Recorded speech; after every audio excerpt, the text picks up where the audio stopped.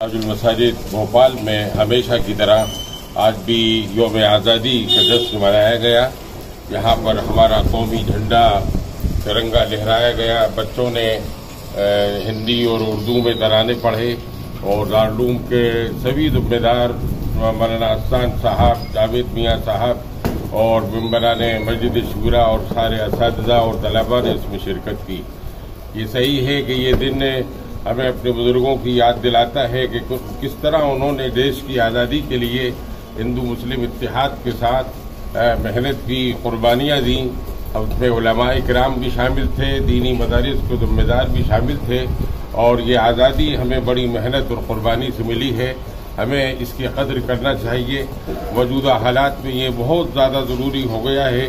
کہ ہم اپنے ملک کو اہم باہمی اختلاف سے، انتشار سے بچائیں اور خاص طور سے دہشت گردی کا مقابلہ کریں، جس نے ہمارے ملک کے وقار کو بہت مجروح کر دیا ہے۔ ضروری ہے کہ ہماری تمام جماعتیں جتنی بھی ہندوستان میں ہیں، تمام تعلیمی ادارے، تمام ہمارے سیاستداں مل جل کر اس بارے میں قدم بڑھائیں اور پہلے کی طرح ہندوستان کو امن و امان کا گہوارہ بنائیں۔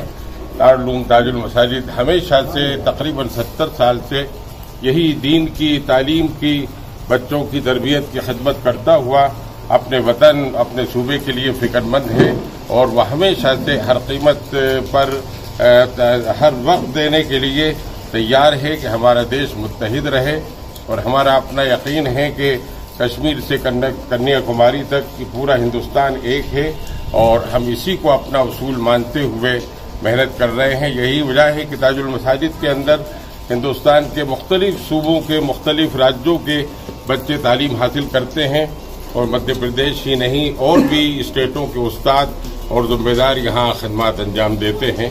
بہت خوشی ہے۔ ہندوستان زندہ باد۔